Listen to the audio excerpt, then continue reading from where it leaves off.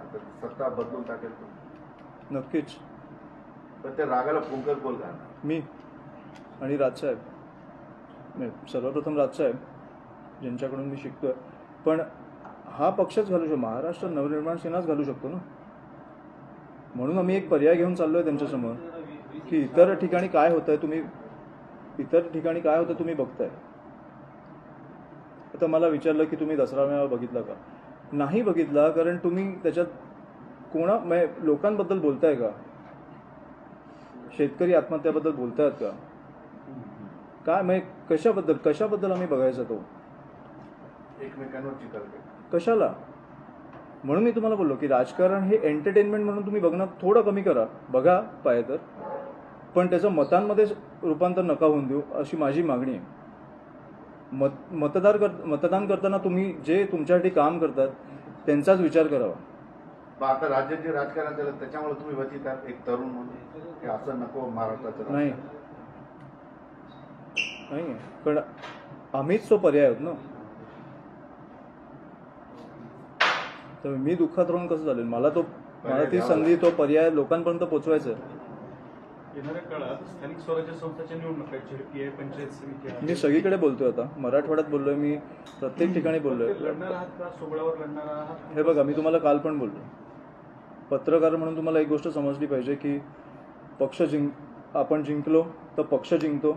आपण हरलो तर राजसाहेब हरतात. त्यामुळे हे तेच ठरवू शकतात कारण त्यांच्या नावावर पक्ष उभा आहे. पण मी प्रत्येक ठिकाणी बोललोय की जिकडे लढवाल आणि जिकडे आपली ताकद असेल ती तिकडे मी स्वतः प्रचारासाठी येईन. यावेळी तुम्ही मनसेचे स्टार प्रचारक असाल. स्टार नाही प्रचारक. थोडं आव्हान पण वाढलेलं आहे ना म्हणजे पहिले भाजप आणि शिवसेना होता आता दोन दोन शिवसेना. हा, ठीक आहे ना. तुम्हाला काही मग संधी दिसते आव्हान का? संधी की आव्हान संधी कसं? दिसते का? संधी. आहे. नक्कीच. कारण राजसाहेब आहेत? येणाऱ्या काळात काही असा कोणता मोठा मुद्दा आहे का की जो तुम्ही हातात घेणार आहात? जो मी तुम्हाला बोललो तो बेरोजगाराचा खूप मोठा मुद्दा आहे. स्पर्धा परीक्षांचा खूप मोठा मुद्दा आहे. पण हे मुद्दे जर पेटले तर महाराष्ट्रभर पेटतात. मला मुंबईमध्ये राहून कळू शकतो की अरे असा असा स्पर्धा परीक्षांचा मुद्दा पेटला आहे आपण काहीतरी याच्यावर स्टँड घेतला पाहिजे किंवा याच्यावर उतरलो पाहिजे पत्रव्यवहार केला पाहिजे कोणातरी जाऊन भेटलं पाहिजे आंदोलन घेतलं पाहिजे. पण प्रत्येक वै कॉलेजचे जे वैयक्तिक विषय असतात जालनाचे विषय वेगळे असतात परभणीचे विषय वेगळे असतात हिंगोलीचे विषय वेगळे असतात संभाजीनगरचे विषय वेगळे असतात धाराशिवचे विषय वेगळे असतात हे मला मुंबईला राहून नाही कळू शकत. त्याच्यासाठी मी हा युनिट स्थापनेचा कार्यक्रम देतो बेरोजगारीचा आणि स्पर्धा परीक्षेचा मुद्दा जो तुम्ही हाती घेणार आहात त्याचं स्वरूप कसं असणार आहे? काय करणार? ते तुम्हाला हळूहळू कळेल.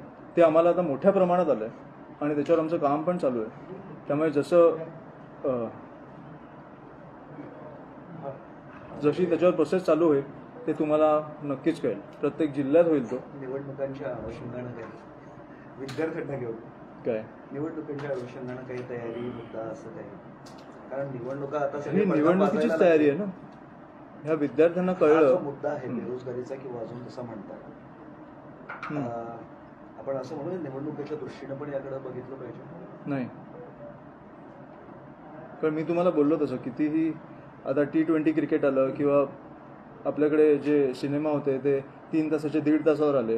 हे किती आपण जनरेशन फास्ट झाली तरी राजकारण आपण राजकारणात हा पेशन्स ठेवायलाच लागतो. तुम्हाला संयम हा लागतोच कारण निवडणुका हा प्रत्येक पाच वर्षांनी जातात असं नाही झालं की निवडणुका प्रत्येक वर्षी यायला लागल्यात. त्याच्यामुळे हा संयमाचा विषय आहे आणि त्याच्यामुळे जे मी करतोय ते ह्या विद्यार्थ्यांना घेऊन एक पक्ष वाढवण्याचाच विचार माझा आहे. जेणेकरून पक्ष सत्तेत आला तर ते लोकांचे कामं तो सोपेपणे स- आपण करू शकू. पण मराठवाड्याची पूर्ण चाचपणी केली आगामी निवडणूक आहे. त्या दृष्टीनं पक्षाच्या दृष्टीनं कसं बघताय तुम्ही मराठवाडा तुमच्यासाठी काय? आहे? सुरुवात आहे मध्यावर आलात की चांगलं यश मिळेल? या दृष्टीनं. नाही आता प्रत्येक ठिकाणी चांगलं यश मिळेल ह्याच ह्याच्याने आपण लढतोय. ह्याच ह्याच्याने आपण आपली तयारी चालू आहे. त्यामुळे सुरुवात केली आहे. हो. त्यांच्याकडे लक्षच नाही हो.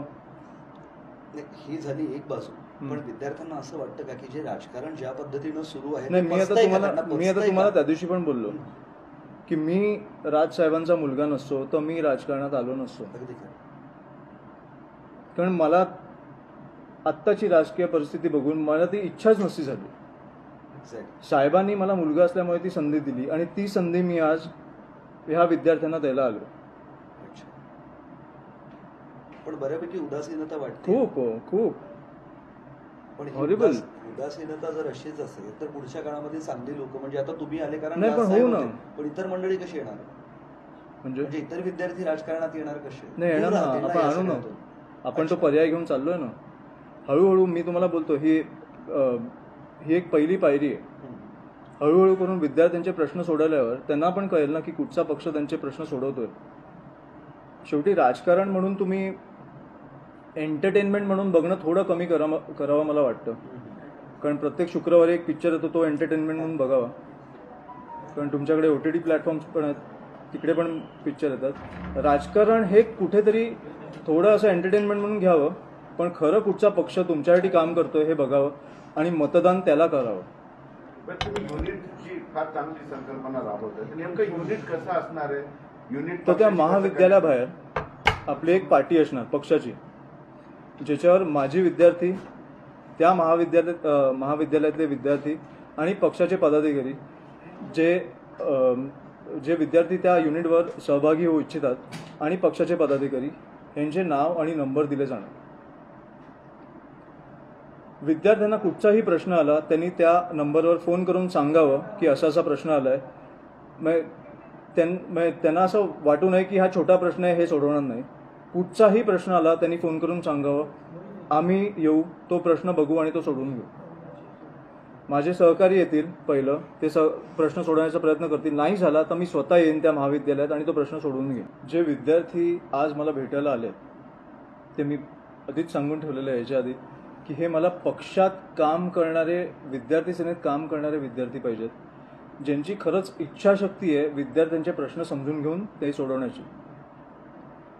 आणि ते तुम्हीच बोललात की एवढ्या प्रमाणात आलेत त्यामुळे मला अतिशय बरं वाटतंय आणि अतिशय उत्तम प्रतिसाद आहे.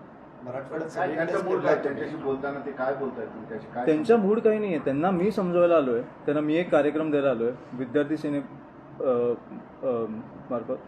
जे म- काल मी म्हणून तुम्हाला भेटलो पत्रकारांना की मला समजून घ्यायचं होतं की मराठवाड्याची परिस्थिती काय. जी मला थोडक्यात माहीत होती आणि महाराष्ट्राची पण माहिती आहे. पण जे तुम्ही बोलला की विद्यार्थ्यांचे प्रश्न समजून घेणारी खोलात जाऊन समजून घेणारी एक पण संघटना आजपर्यंत नाही आहे जे मी समजून घेतोय आणि त्यांना युनिट स्थापनेचा म्हणजे शाखा स्थापनेचा त्यांच्या महाविद्यालयाबाहेर एक शाखा आपल्या पक्षाची असली पाहिजे. आता मला खाली बरेच विद्यार्थी भेटले जे बोलले की ह्या पक्षाकडं ह्या पक्षाचं कॉलेज आहे. ह्या ह्या पक्षाचं कॉलेज आहे त्यामुळे आम्हाला हा हा त्रास होतो. त्यामुळे मी त्यांना एकच सांगितलं की कॉलेज कुठच्याही पक्षाचा असो विद्यार्थी हा महाराष्ट्र नवनिर् नवनिर्माण सेनेचाच असला पाहिजे. आणि त्यांचे विषय आपणच सोडून घेऊ शकतो. तर त्याच्या काय समस्या ओव्हरऑल काय समस्या महत्वाची अहो वाटते? मी तुम्हाला बोललो तसं की हे मोठ्या समस्या नाही आहेत. ज्या आरक्षणाबाबत असतील किंवा बेरोजगाराबाबत असतील किंवा स्पर्धा परीक्षांबाबत असतील त्या वेगळ्या समस्या झाल्या. ह्या समस्या ज्या आहेत त्या वैयक्तिक समस्या आहेत ज्या त्या जे ते विद्यार्थी सामोरे जात असतात. ते म्हणजे आता शिक्षक कधी कधी विद्यार्थ्यांवर राग काढतात मुद्दामून कधी कधी कॉलेज साफ नसतं कॅन्टीनमध्ये तुम्ही जे पैसे भरता त्या क्वालिटीचं तुम्हाला जेवण मिळतंय का? कधी कधी रॅगिंगचा विषय असतो. मुलींची छेडछाड होते. आता मला खाली आज अजून एक विषय आला. जो प्रत्येक कॉलेजमध्ये नसतो महाविद्यालयात नसतो पण ह्यांच्या वि- महाविद्यालयात होता की शिक्षक मुलींबरोबर गैरव्यवहार करतात फ्लर्ट करतात किंवा जे काय करतात.